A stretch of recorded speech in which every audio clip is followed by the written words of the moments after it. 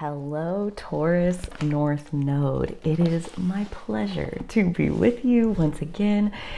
Do remember that there is a playlist for Taurus North Node down in the description. So, any of the messages that I've done ever specifically directed for Taurus North Node energy you can find those there. So as those stack up, as we continue to make laps around the zodiac and talk about them all, um, we're back with astrology for the soul. Have you bought your copy? Had, do you own one of these? because I show it on video all the time. I don't get a cut. I'm just curious. It's an excellent book. So much guidance that's like really really practically useful, in my opinion. So that's why I continue to bring it back up. And today, in this message, we are specifically looking at a section that I have not looked at before with you guys on video.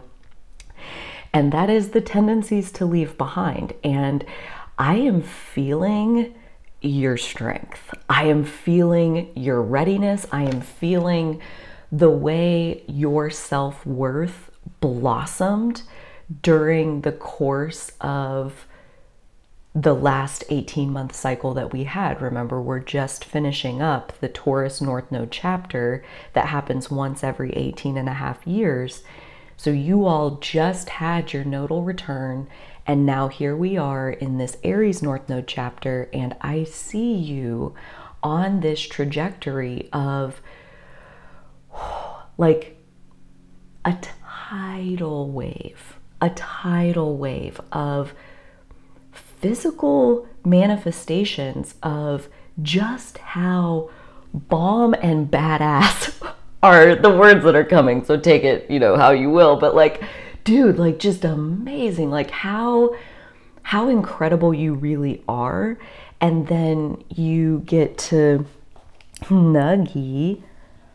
See want in the lap please mama. Please. Okay Okay, okay, okay. Uh huh. But then you gotta lay down. That's a long process usually. oh, it's we're, we're in for it. Um. Ah, indulge in the break. Thank you, Nook. Oh, um. So your blossoming self confidence and self worth and your internal self valuation and validation coming out of that, but really like you valuing yourself. How much are you worth? And that has nothing to do with money. That has everything to do with the self esteem that you possess, as far as like how much of a life are you. Oh, that's yummy. How much of a life are you able and willing to ask for for yourself. How big are you willing to go? Because that Taurus North Node, I mean, really, it's about building the life you want with your own two hands. And that is a ton about, you know, resource guarding is the shadow of Taurus, but dude, like, resource protection.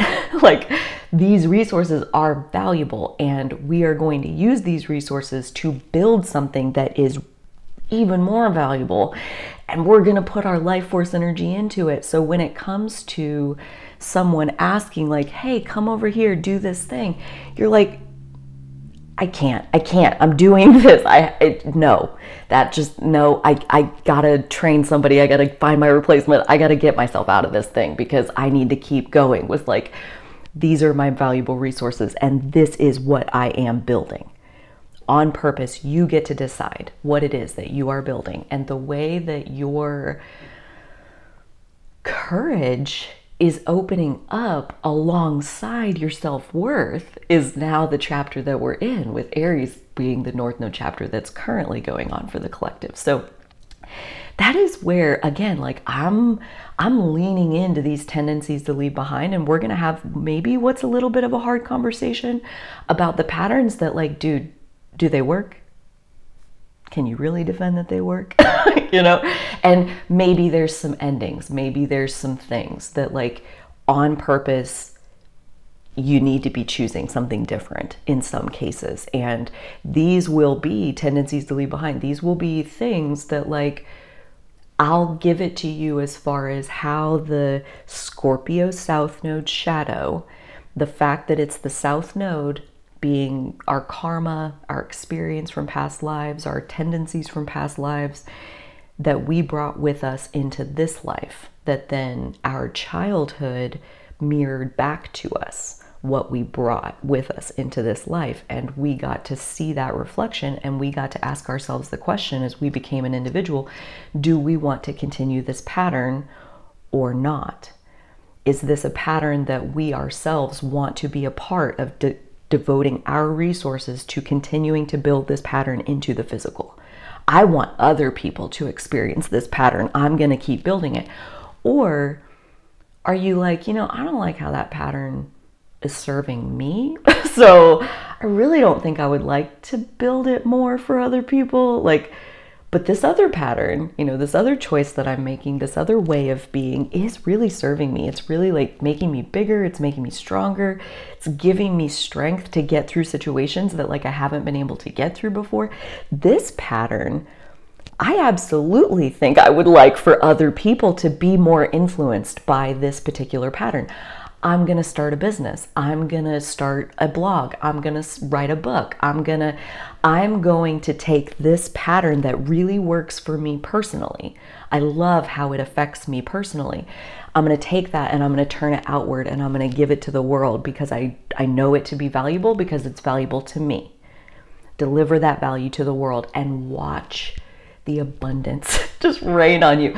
Watch like as you step into your authentic self, like everything comes. Like it's all tied together. It's like, are you in it or are you not in it? And when you're when you're out of it, it's like it affects everything. It affects your job, it affects your relationships, it affects your family, it affects your mental health, it affects your physical health. Like everything is affected by swirling around in your Scorpio South node or are you more dominantly anchored in your Taurus North Node? And again, if you are, everything is affected. So when you have clicks into place of like no longer following those easy but ultimately not fruitful or productive or helpful patterns, right? That's the South Node. Like you could keep going with like what you were taught, like the identity you were issued at birth, like you can carry that as long as you want. Nobody is going to pry you away from it. But when you are outside of your authentic self, everything around you, including inside of you, suffers. Your entire experience suffers. And so, coming into alignment with you are valuable and the confidence of the Aries North Node, you deserve to have what you want. I think maybe more than ever before, especially those who are listening to this message, have found a stability under yourself that is like, I'm ready to plant my feet and be like, this is what I want. and so if you're vibing on that track, I want. I want you as activated and outwardly in your power as possible. You know, like that's my goal, just so you know. So, like, as we walk together into this conversation about tendencies to leave behind, I yeah, I just know that like I resonate with most most of these myself as well. So this uh, I think I'm just gonna read it, read it through one time and give just a small space in between each of them. And what I'm picturing here is myself making note of the ones where I feel the most tied in still, you know, like, oh yeah, that's, mm, yeah, I, I could use some work in that area, you know. And some of them may land like, that is exactly what I had to heal. That's exactly that turning point I made 10 years ago, where that's the piece that clicked into place and it really opened things up for me. You know, like you already left behind some of these tendencies. And so be patting yourself on the back for those ones and make a special note, right? Um, appreciate the journey because it's never over, right? There's always going to be more that can open up, more that we can purify out of our our dense 3D beings, whatever. Um, So let me read these, give you a little space in between each one. The first one is attraction to crisis situations. Attraction to crisis situations.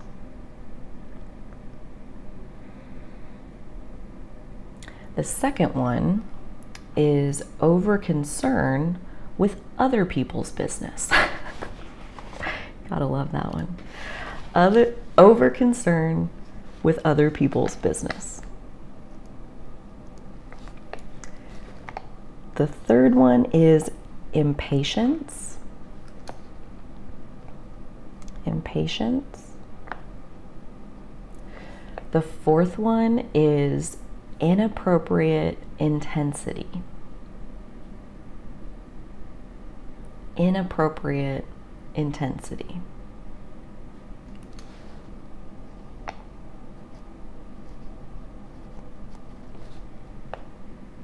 Number five is judgmental tendencies.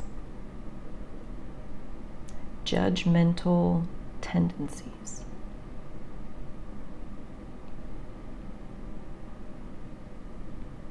Number six is preoccupation with the psychological motivations of others.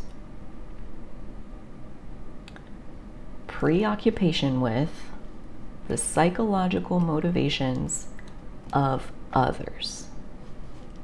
I feel like that last part's really important to that one.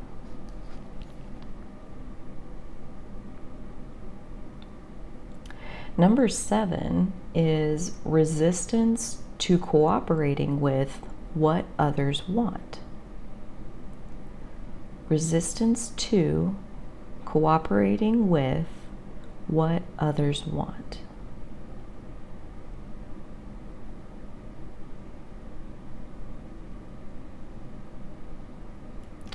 Number eight is overreacting.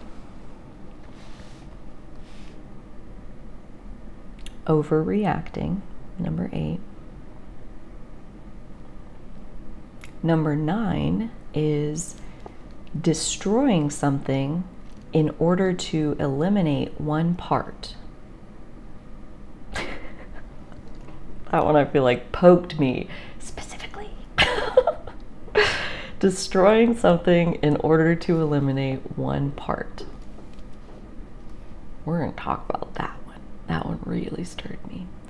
Number 10 is obsessive compulsive tendencies. Obsessive compulsive tendencies. So, I would be so curious if you did um, kind of track through those. I would love to get to know which of these things have you worked on like already you're like oh yeah like that was definitely you know that was a big thing in my 20s like i really had to get that together 30s or 40s what whatever it is. Like dude it's never too late.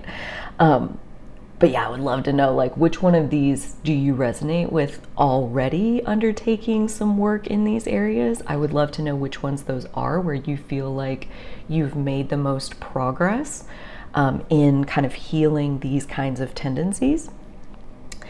Um, and I would love to know two more things, really. I would love to know which ones, you know, poked at you as far as like, ooh, yeah, like that's that's kind of what I'm realizing now. Like I, you know, I'm the common denominator in all of these things. So maybe I should work on that one, you know, like you're kind of like right in the middle of it still. Um, and then what fell like totally flat, you know, like, wait, what? You know, like, I don't, what, what does that mean? You know, if anything really didn't land, I would love to know that too. So that's quite the homework assignment. Um, welcome to your homework. Yeah.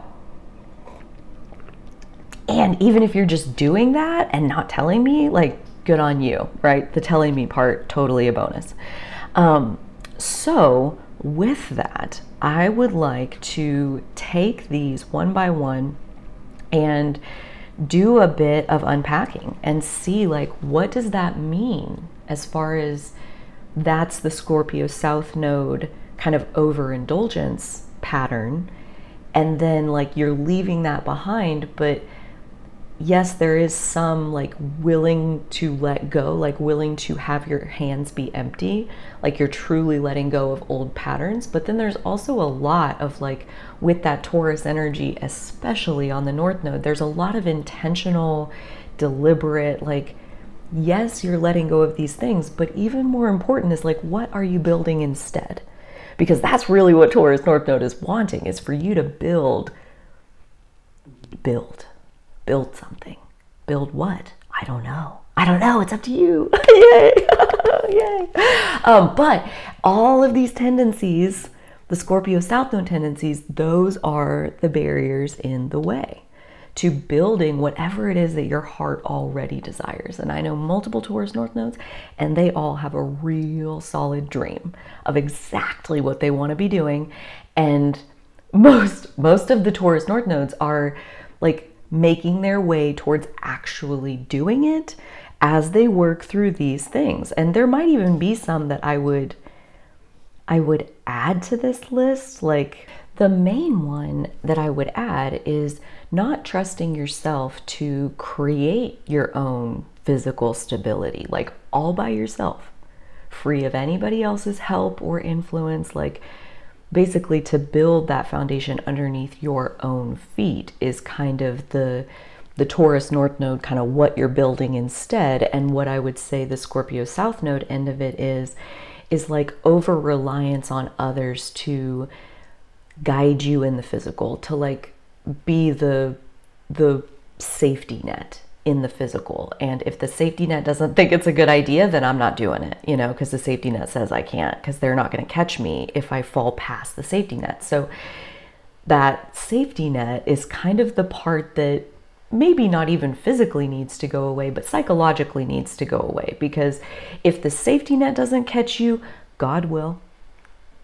Dude, plain and simple. Like, you have support way more support in the physical than if you resonate with that as far as like I gotta I gotta stay within the safety net kind of thing and usually that's a relationship with another person um, they're providing that like I don't trust myself to be that part and that's that's just one more to kind of throw in the mix as far as like what what might feel in the way to you building whatever this like idea, this dream of like, what do you want to build? What feels valuable to you to share with the world? Um, so I don't know if you can tell, but like it's like personally important to me that you dissolve your barriers and that you build what it is that you think is valuable, most valuable to devote your limited time and resources to. Like, what is that? I want to know.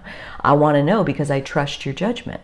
I trust that you have a read on things that a lot of people can't even imagine exist, let alone like experience it on a regular basis. So you have access to like this whole other dimension of reality. And so you tell us what is valuable, how should it be?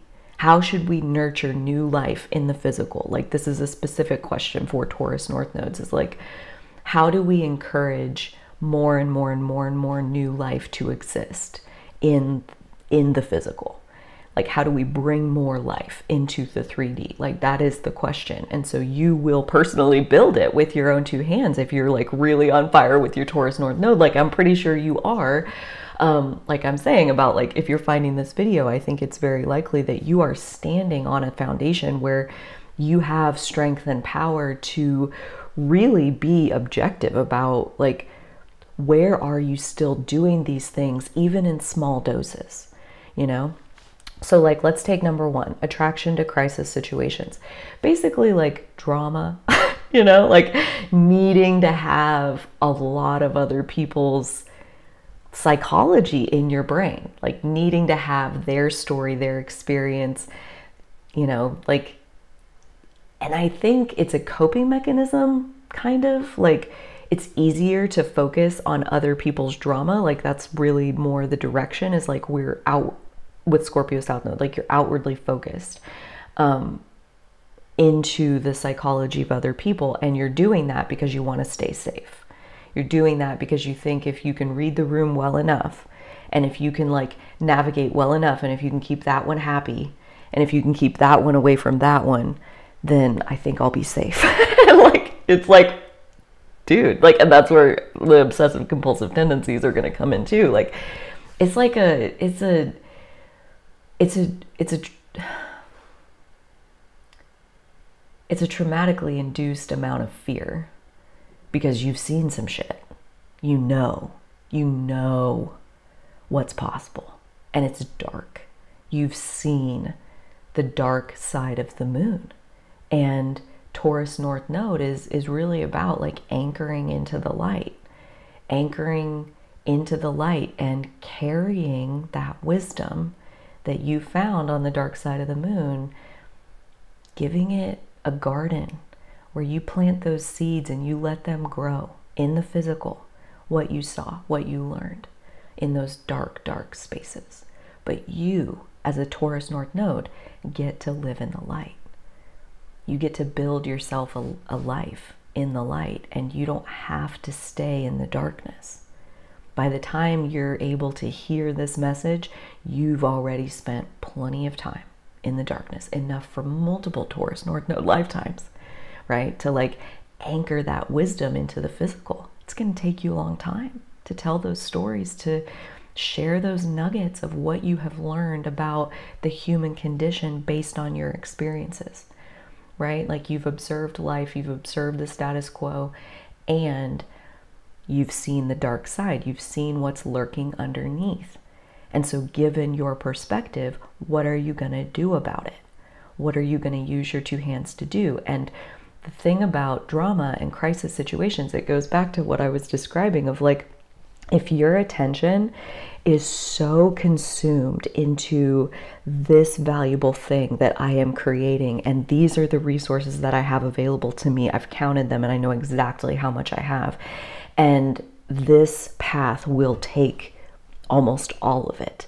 And so I am committing my resources, my life, my time, my attention, my waking hours on this planet, I am devoting to this valuable cause. And when you are living that, when that's like what you're doing with your day every day, it's like crisis kind of just evaporates.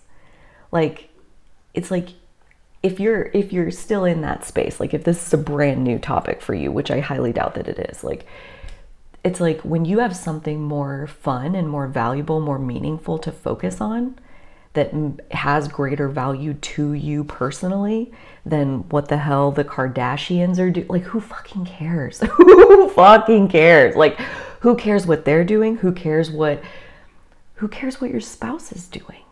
Like, what do you want? What is valuable to you?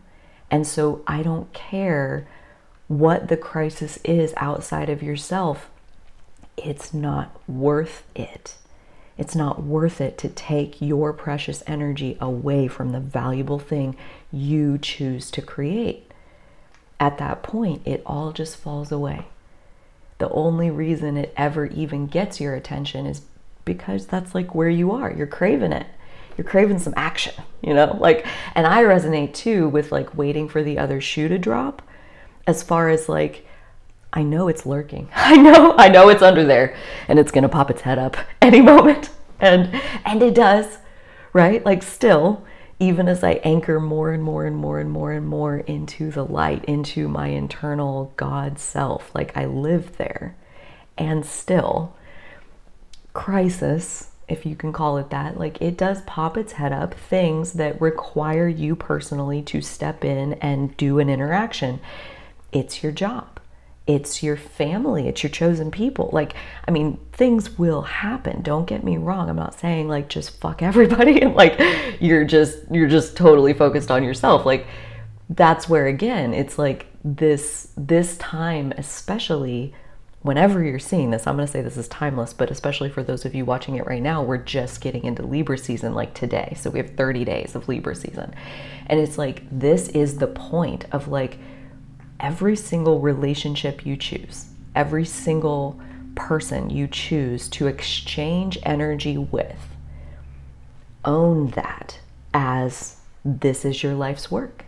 This is your life's work. And so the thing about that is like a lot of us if especially if you are being drawn into these crisis situations, you're now spending your time and energy on people and things and subjects that you did not choose personally, and that will spell trouble, right? Like spending time thinking about it. Um, I personally have a relationship with law of attraction, but somebody said something to me recently that basically boils law of attraction down into like just a few words, which is what I think about, I bring about. What I think about, I bring about. So if you're spending time inside the crisis created by other people, what's losing in that situation is this creation that you are here to build. And so when you have a strong enough relationship with your creation, you've seen its value, you know its value, you know it because it's personally affected you, and you want it to affect other people in that same positive way. Every time a crisis pops up, you will begin asking yourself, of course, I wish them well, but is this really worth my time personally? Am I really the best person for this job? Can I can I make a recommendation that will be even more beneficial for them and me in the process because I need to not be needed by this person right now. I need to focus on what it is that I am doing. So, making those choices, I feel, is getting easier and easier and easier as you clarify the value of yourself and in turn, how have you gotten to where you are? and what are the wis- what are the wisdom? What are the nuggets the philosophies the understandings that you carry with you that help you to be where you are? How are you permeating those patterns? How are you influencing other people to follow suit? Because you personally know the value that it can bring through your own experience so, having that relationship with that valuable thing, I think, is how you let go of crisis situations, right? It's somewhat about letting go. It's also a lot about what are you replacing it with?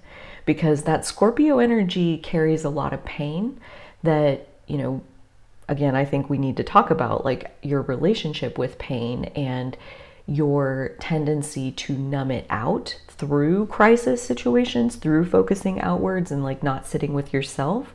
You know, I'd rather focus on somebody else's pain than my own, um, that sort of thing. Um, which is also where number two, over concern with other people's business. I think, again, it's a coping mechanism to relieve the pain that you're in. And so focusing on other people instead of yourself is denying your own pain. And moving into Taurus North Node is a lot about sitting with your own business. And most likely that includes some really painful, fucked up shit. And who wants to look at that? Like, who wants a front row visceral seat to the nightmare that exists inside. I don't know. No, I don't want that. I'll I'll be of service to other people. I'll focus on other people until I drop dead before I sit and look at but like that's the part that's really shifted as you value yourself more. You will be a more worthy recipient of your own powerful attention. That's where you know, I am going to jump to number 6 preoccupation with the psychological motivations of others of others. Like you may be thinking no i love motivation. I love psychology. I love how people tick and work and like i can't give that up. Like no like i'm keeping that one. I'm not going to leave behind that tendency. You don't have to but it absolutely must be redirected. Others are not your focus. You you are your focus. What are your motivations what are your psychological intentions? What are the roots of your actions?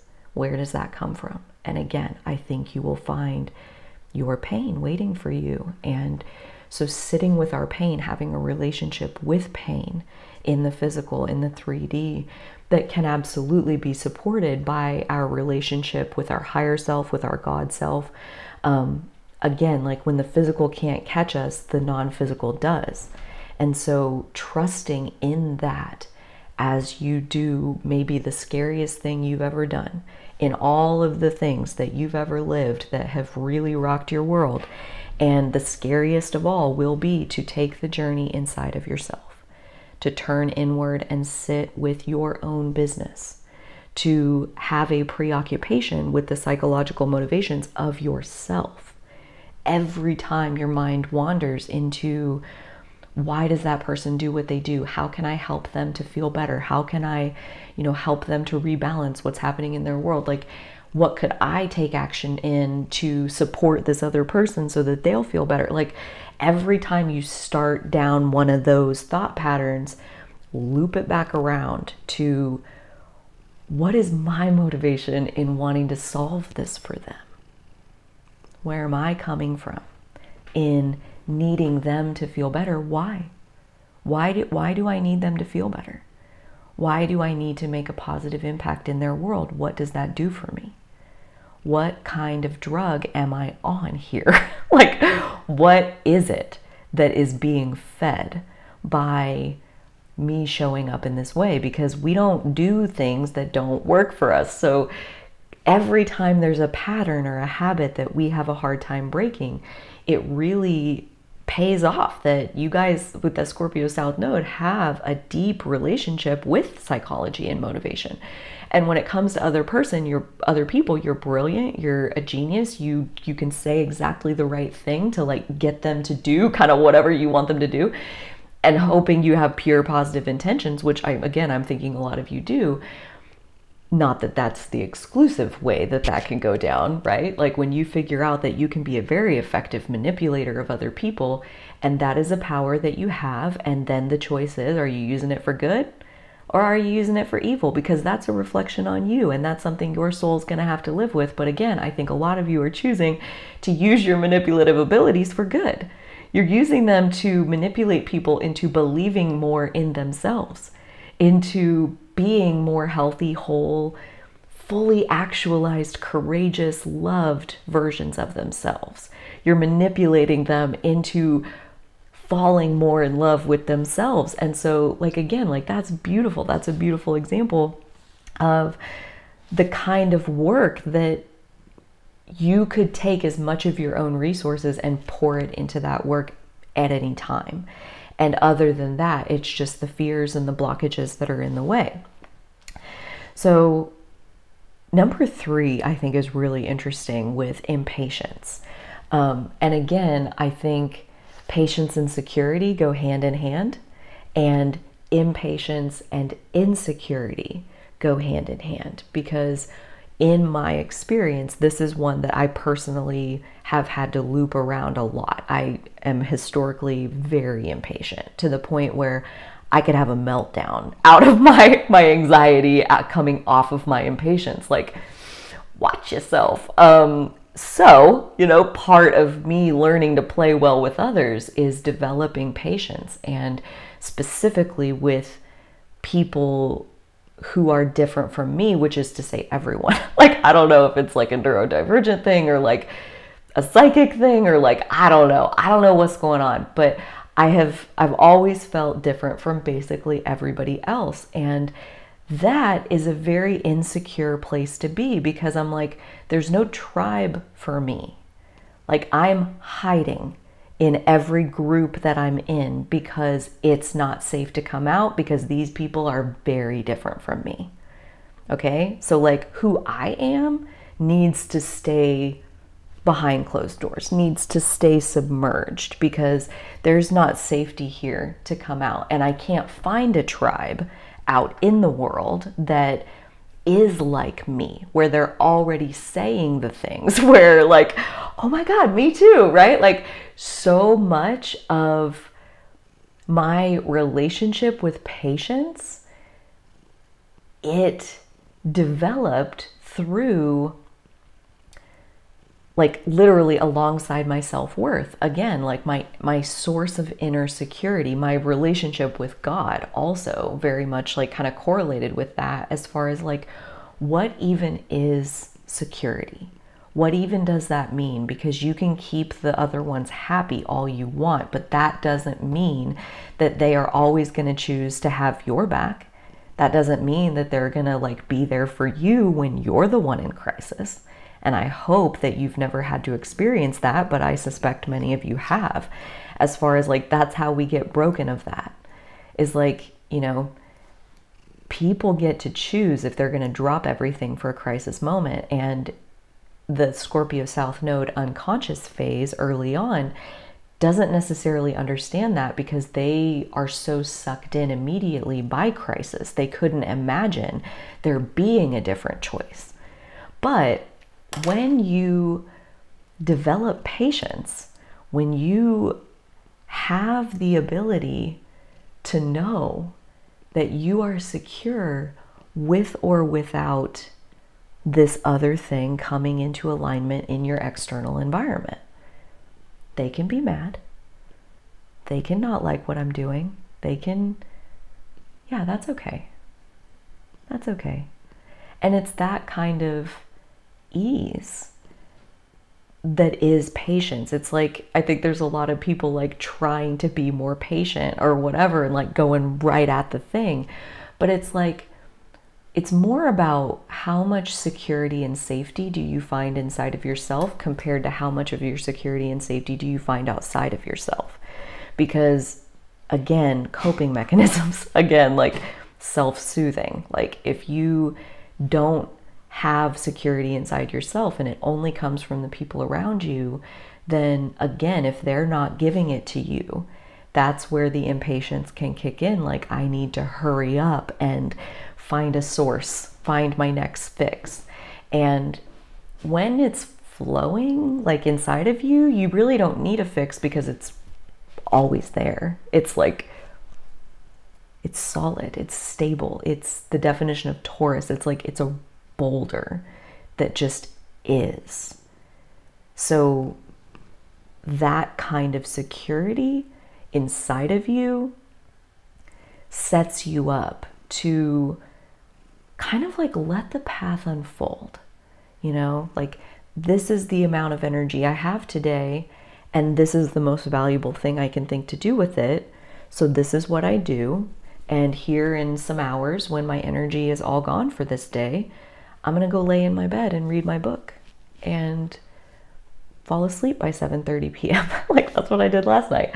Um, when I've spent my energy and I've done what I can do for this day, then I'll go lay down and do something that soothes me into whatever comes next. And when I wake up tomorrow, I'll have more energy and I'll get to decide right then what's the most valuable thing I can do with it. And like that's patience is like knowing that you're always giving everything that you have to give. So like what what is the impatience? What is that?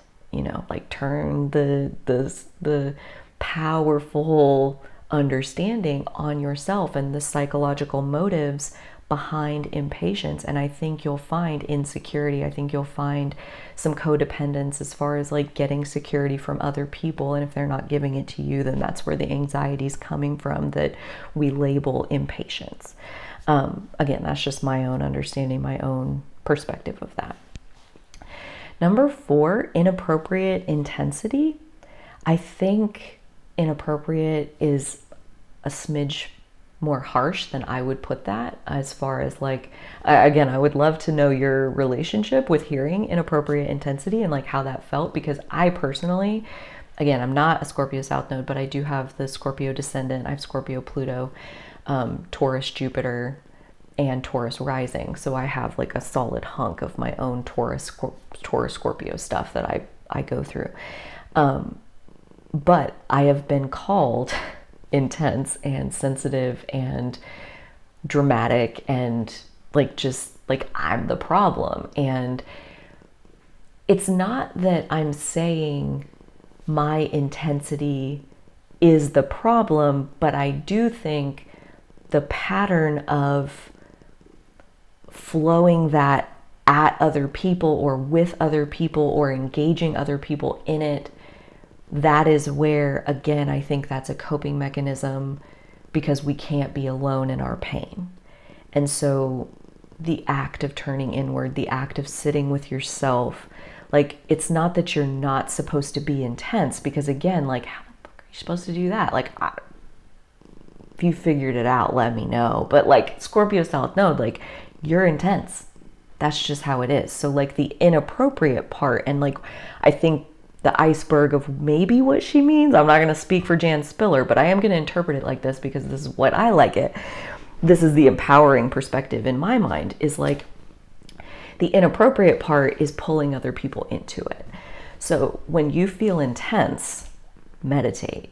You look at it. Before you ask anybody else to look at your intensity, you look at it.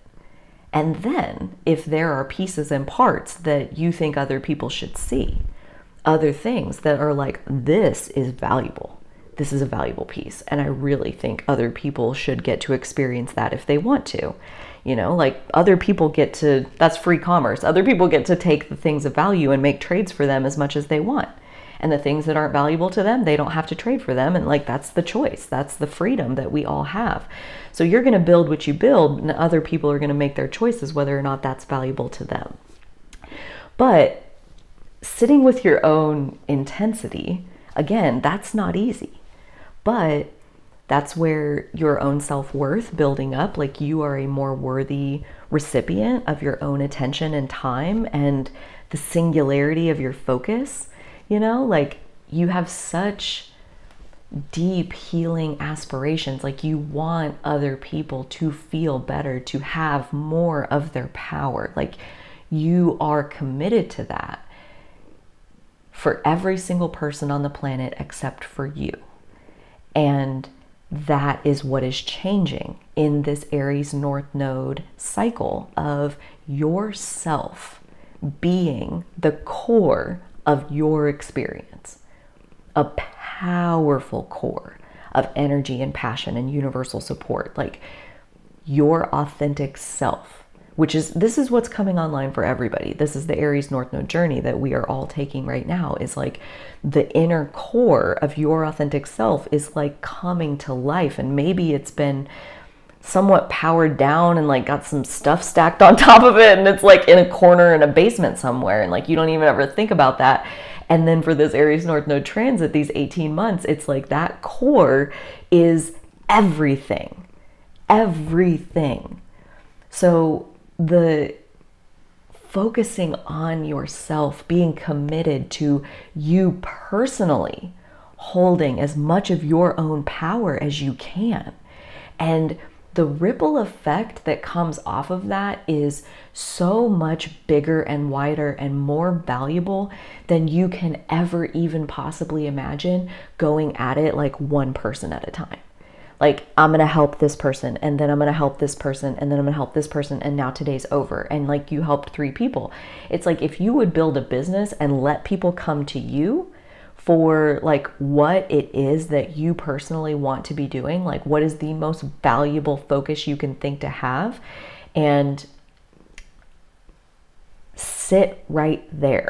Put down roots right there. And then let the people who are ready for that exact piece let them come and let them nibble at the piece and let them have their reaction to it whatever it may be and then let the next one come. And open yourself up to anyone who's wanting to take a walk through my garden is welcome to. You know i'm growing some pretty interesting things over here. Like you may or may not like it. It's not for everybody but this is the stuff that I it, it's the most valuable things I've ever found, you know, and I planted them all right here and this this tree has this beautiful history and let me tell you about it. And you know, like let them into to that garden of Eden that exists inside of yourself. Bring it out and ground it, manifest it into the 3D. Um, and I honestly think that all of that is happening organically out of your willingness to turn your powerful focus on yourself, to empower yourself.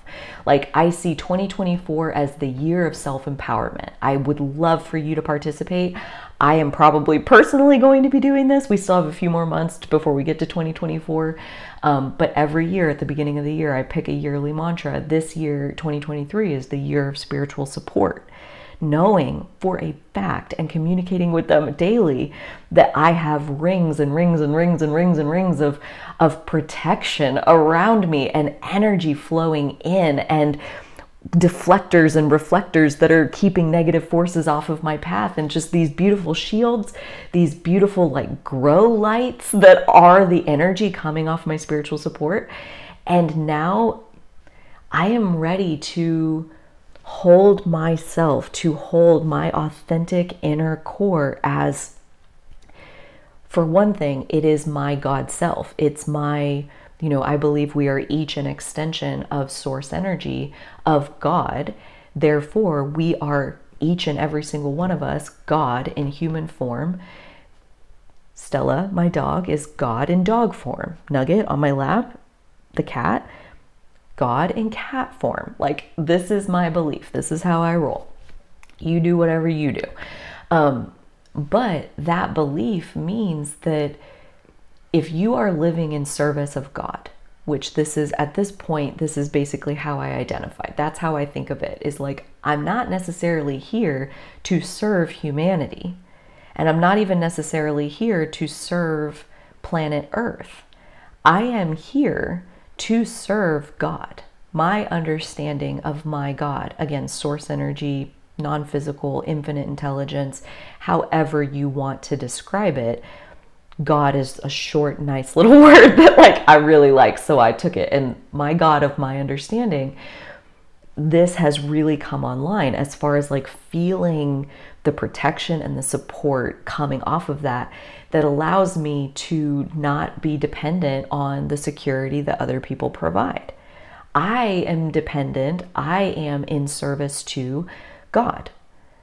And how that manifests how that communicates through our physical vessel, like how it works, the functionality of our vessel, of our body, is like that is, I think, what our heart is.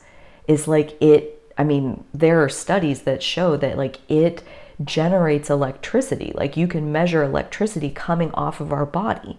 So like there's there's a frequency, there's a there's a life force there's a current of energy running through every single one of us. And that current is God. Again, these are just my beliefs, but I'm, sh- I'm showing you how I see it. And so God is a part of our self. There is what I would call our God self. There's also our ego self. There's um, the part of us that's tapped into the super ego.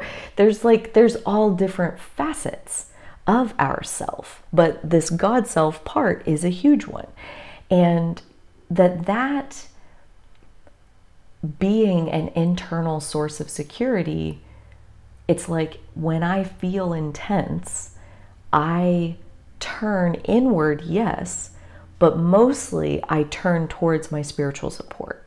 I turn towards like what do you know about this? Like what, what can you tell me? And and they talk me down every single time. So again, it's like before you show your intensity to anyone, show it to yourself, show it to your God, the God of your understanding, and see if it doesn't look different after you do that. And at that point, it's not that you're making a choice of like, oh, I don't want my shitty attitude to affect anybody else. No, it's like you don't have a shitty attitude after you heal yourself, after you like in that moment, like you give yourself the attention, you soothe yourself. You take the time to commune with the God of your understanding and you let unconditional love wash over you. You receive it for yourself. And again, then we go to number five with judgmental tendencies, tendencies to leave behind, being judgmental. And again, I think these things are correlated. I believe that security and acceptance are correlated, they're very, very closely related, just like insecurity and being judgmental. It's like if you don't feel safe, you have a very specific idea of what is and is not allowed, and you're hyper vigilant about it. And that comes out as being judgmental. And even just like, I want to help this person feel better, that is a judgmental thing to say. That is like, I, I believe that how they feel right now is not okay. And you may or may not mean that consciously. That's why, again, it's very helpful to take your perspective and point it at yourself. What are your psychological motivations for wanting this person to feel differently than they do right now? Why can't they feel how they feel? What's wrong with their feelings? What's wrong with where they are? What's the problem here? What, what business is it of yours? it's like one of the questions, right? Like over concerned with other people's business. Like, why do you care? What does it feed in you to care about this? Like, that's a question worth finding the root to. Um, and so it's like, as you become more secure, as your security is coming from your God self, as you are finding this within yourself and what other people are doing is irrelevant to your feeling secure, it gets a lot easier to accept where people are. Just accept where they are. You know, meet them where they are, love them where they are just like God loves each of us where we are. When I turn to my God self, when I take my intensity, my hurt, my pain, when I go and commune with Source, with it, I bring back their love for me personally every single time. There's nothing that I can show them where they will judge me. And when you personally have been freed from judgment, when you have been freed from your own judgment, because everything that you show to your God self, accepted, loved, cherished, not even just tolerated, but cherished. Love, love, love. They accept, they accept, they accept. And the more you personally are accepted, the more you are accepting of others.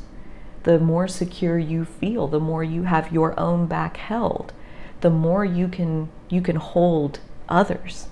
So the piece of like the Scorpio South node where like you care deeply about the well-being of others. I want to say in a very practical sense, you can best support the well-being of others by securing all of this well-being within yourself, by having your own relationship with pain and being an expert at pain management and soothing and healing the wounds that are ultimately at the root cause of where this pain is coming from in the first place. Getting into your own roots and healing those roots and having healthy roots inside yourself is literally like your whole work in this lifetime. You are really not here to be a healer of other people other than the people that come up to you and are like, what is this? like they want to know about how'd you heal those roots? I have I have festering roots and you have healed roots. How did you do that? You know, like they want to know. And again, that's where again it's really the best if you can just open a business and let the people come who want to come because the second you need this one to see my value, you've lost the plot. Because the one that you need to see your value is you slash God. Okay? That's like the only person who needs to get what you're doing everybody else's opinion is a reflection of their own limitations. When somebody says, you shouldn't do that, what they're saying is, I wouldn't do that. And maybe they wouldn't, maybe they shouldn't, but they're not you. So, if you know your worth, if you know your value, if you know your safety and security inside yourself because God has has you know come in and merged with your beingness in a tangible way, if you have that level of foundation under your feet, again, what other people are doing or not doing, feeling or not feeling, like it's really none of your business. Like there's really nothing to judge. They can do whatever they want. Um, number six, uh, preoccupation with the psychological motivations of others. I touched on this briefly, but again, the root of that is of others. Like you are meant to take every ounce of your psychological prowess, of which there is much, and point it at yourself. Empower yourself. You are your masterpiece. Your aura speaks for itself, louder than words ever could. Your personal level of rooted, secure, sure footed stability that you possess. People will want to know how you do what you do, and that time will come. But that is not at all the work, that's not at all the focus of the Taurus North Node. The Taurus North Node is your inner peace. That is the work. Your sure footedness. That is the work. If you recognize I'm in confusion, I'm in drama, I'm in chaos, that's Scorpio South Node. Find your inner peace. Find, turn inward. Where is your motivation in being in these situations? Why are you there? What is it feeding? What are you hungry for that this situation is feeding? And if you don't like being in that situation, how will you feed that need differently? And then build the pattern that supports feeding the need in the healthiest way you can find. So it's a deliberate choice at that point to stop feeding the need in that way and instead to feed it differently, to allow God to feed it, to however you're going to find that. Like to find a sustainable food source for yourself, right? And that is the real work. And others will come to want to share value, trade value with you because that that stability that is just who you are because it's inner resource. It's it's always there. It's constant. Right? It's never depleted because it just is. It's a boulder. The boulder doesn't deplete. Like maybe over millions of years, like it's not a perfect analogy because this kind never depletes. God is eternal, never depletes.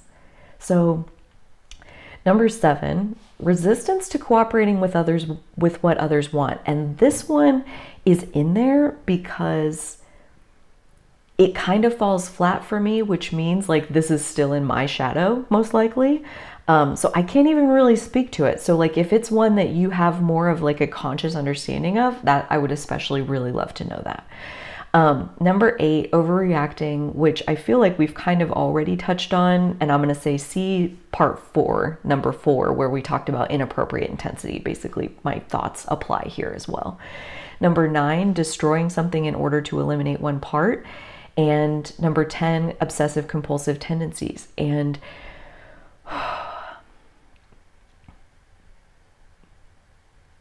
this is like a whole nother thing.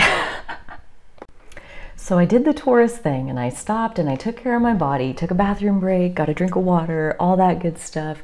And I thought of one more piece that I want to add on here that goes along with what we were just talking about with um like over concern with other people's business, preoccupation with the psychological motivations of others. Uh, and what I had mentioned about like, as soon as you need that one person to hear you and to agree that what you have to offer is valuable, you've lost the plot of like where true security comes from. And this video is a perfect example of what I'm talking about with that because I found out today that my new friend that I've been talking to is a Taurus North Node. And she is incredible absolutely incredible. And this video is basically what I wish I could say to her if she knew anything about astrology and like how the nodes work. And if she was up to speed, like I would tell her this, I would tell her this hour's worth of information. And so this video is like very inspired from like a scorpionic south node even kind of place of like you know, interacting with another person really moves a lot of energy. It's intense. The energy that moves through me personally when I interact with another being, especially a being that's at the depth that I'm at. You know, like that's expansive to like bring their light down into my depths and like now look how far we can see. Holy shit. Um, it's exciting. And this Taurus, you know, North Node vibe and my Taurus rising, my Taurus Jupiter, my Taurus Jupiter in the first house. Like my similar path is not to take everything I have that's valuable to offer and give it to one other person. That is not my job. That's not my work. The first recipient of everything that moves through me is me. So journaling and like getting to really receive it. And even this video is me indulging in me getting to receive the depth of what I, again, what I wish I could say to this other person. So, yes, they inspired it, but I'm not sitting them down and being like, okay, you listen to me for an hour because I have so much to say. No, I have an outlet right over here where people love it when I talk about the Taurus North Node. Like, tell them. Tell them they're the audience for this, what's moving inside of me. This is the place where I've opened myself up and I've said, I specialize in this. And if you want to hear about it, you should come over here because this is what I'm talking about. I have it, it's right here. So just because I want to tell her doesn't mean I'm going to. But I'm definitely going to use the information. I'm going to use the energy, the juices that are flowing through that, and use it to build something that is on my foundation right? Like I'm not pouring myself into another person's bucket, unless, of course, that is pleasurable to you. In a lot of ways, yes, right? Like she sends me a 20 minute message, I send her a 20 minute message. Okay, so like I poured, I went and like really poured, and it was so fun. So fun, in fact, that I wanted to keep pouring. I wanted to, I got a whole another hour in me, and I think I think I've given her her 20 minute. You know, like I poured enough into that bucket. Now let me pour it over here. So again, inappropriate intensity. It's like you can be intense without being appropriate, without being inappropriate. It's like the inappropriate or appropriate part is all about where are you channeling that intensity and have you been invited to channel that intensity into other people's experiences in that way. And sometimes, yes, sometimes there's a better place to pour that intensity, either in meditation, pouring it into your connection with source energy, pouring it into a video, pouring it into a blog, pouring it into something that you are personally building that belongs to you, that is a reflection of your value and your worth and your physical stability in this world. It has nothing to do with one other person, it's about you. So, claiming that um, is, I think, part of too how we leave behind then as we do go ahead and move into number nine, destroying something in order to eliminate one part. It's like I can get. I wonder if this if this resonates with you, this entire topic, number nine, but also like if this reasoning resonates with you as far as here's what I found in myself. Um, it's like, oh, this is this is great. This is perfect. Um, okay, so the first I started having boyfriends when I was in like second grade. So I mean like I I've had other boyfriends, but like I say my first real boyfriend because he was my first kiss. Okay? And like before that I barely even touched, let alone did anything else with any of them. It was like really in title only those those first boyfriends.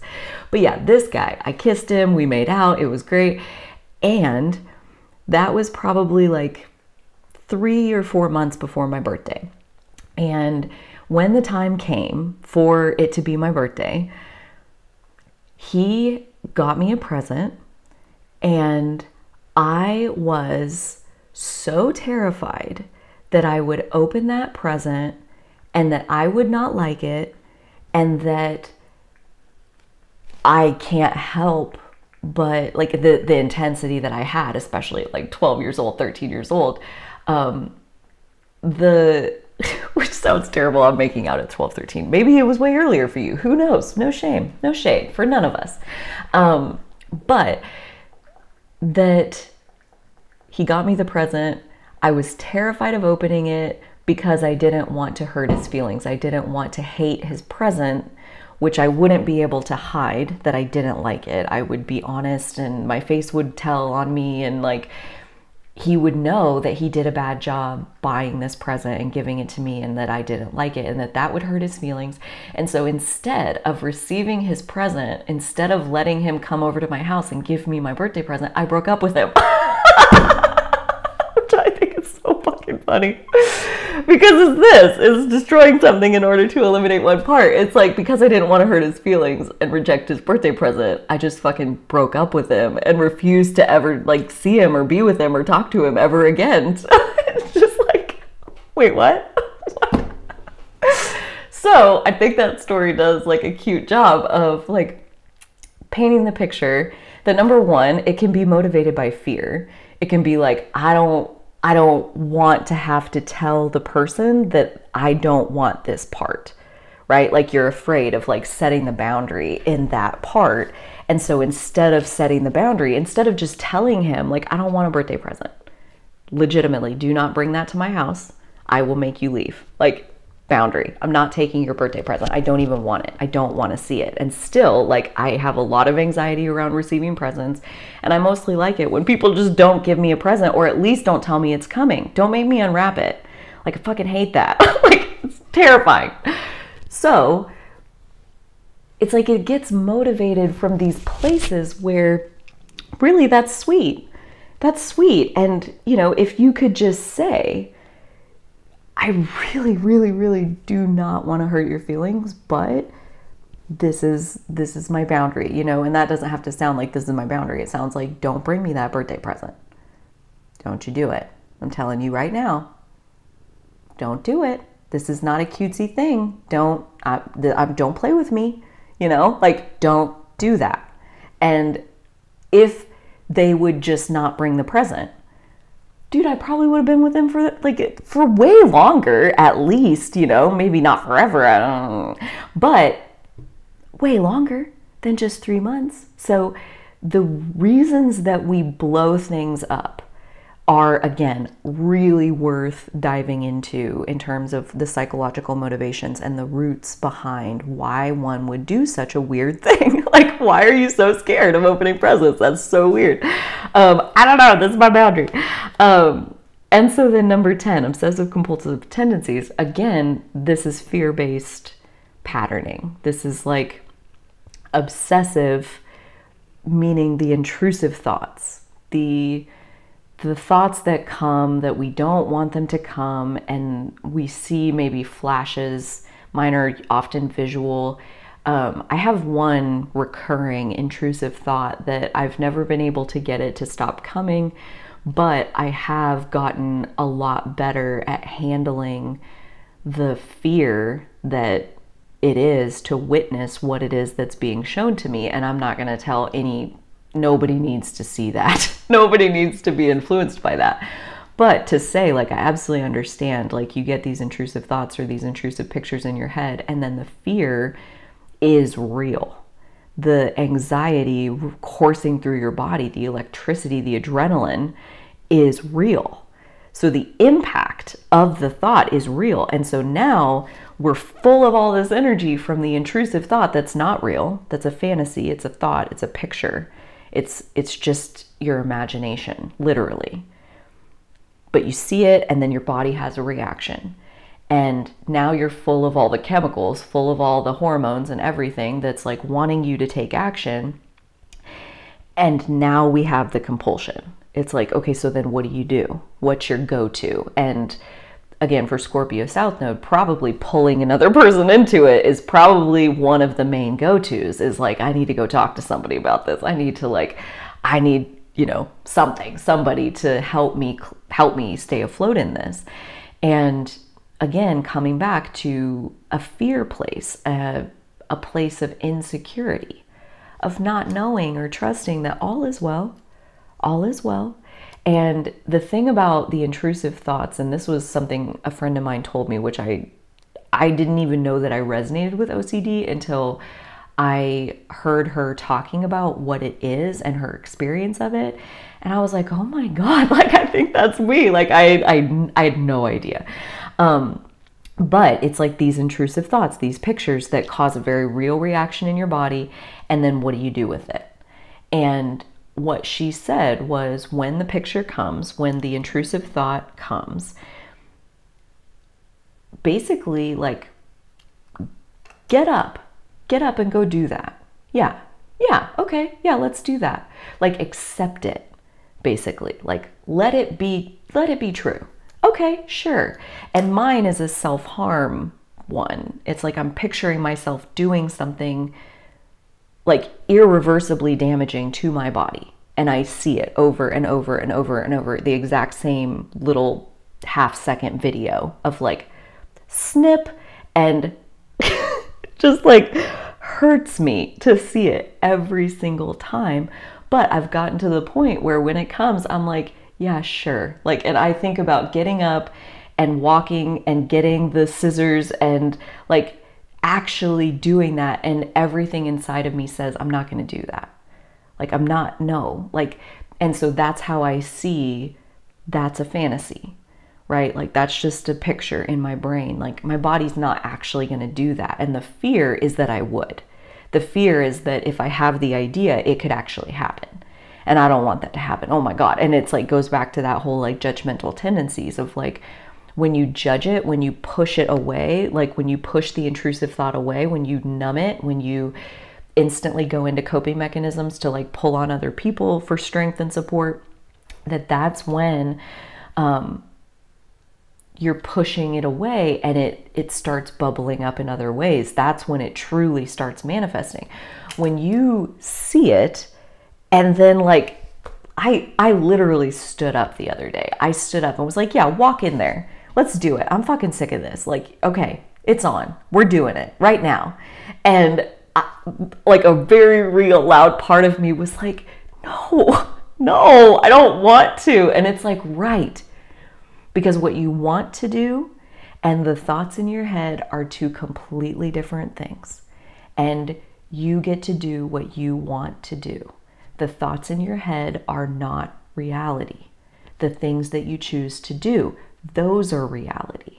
So, this is a very real thing that I still have to ground myself into what's real because the amount of fear that will flow through my body on a daily basis, I mean, it's it's debilitating if I hadn't developed some of these skills to cope with it that I have early on. Some of them were really unhealthy, but I was coping.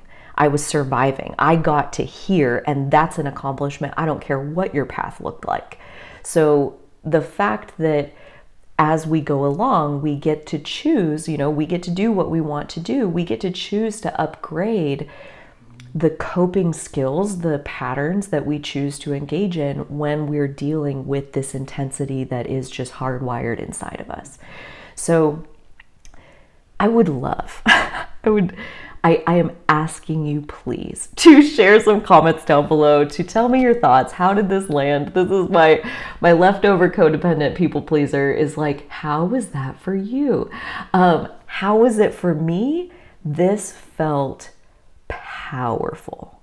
This I just I feel like anybody listening to this video, you're here too. You're here on this like foundation that you made out of your like bricks of your own self-worth and you are valuing yourself and your personal heart's desire which is another way to say God's will for your life. Like you are letting your heart's desire guide the direction that you are pouring your focus, pouring your power into building a path that belongs to you. You're doing it. And I just am so excited to get to be here and hang out in this space where, yes, my new friend helped to kind of turn the light switch on and be like, look, this is what's going on. But then I turn and I'm like, hey guys, do you see? Look what's going on. You know, because this video is open space where I can be whatever I want. I can plant whatever seeds in here I want. This is my garden. You know, you watching this video is you walking through my garden. Welcome, I'm glad you're here you know? And if you want to hang out, I would love that. Hit the like button, the subscribe button, share your thoughts down below.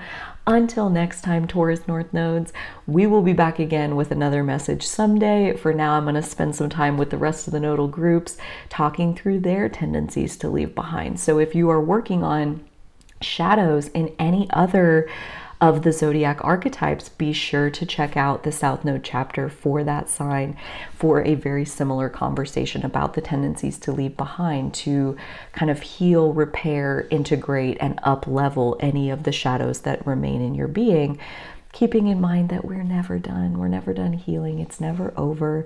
No one is beyond that, that this is a process for us to fall in love with, um, which I have, and I'm happy to share that with you. I hope that's true for you too. Until next time, I hope you'll take such good care of yourself, and so will I.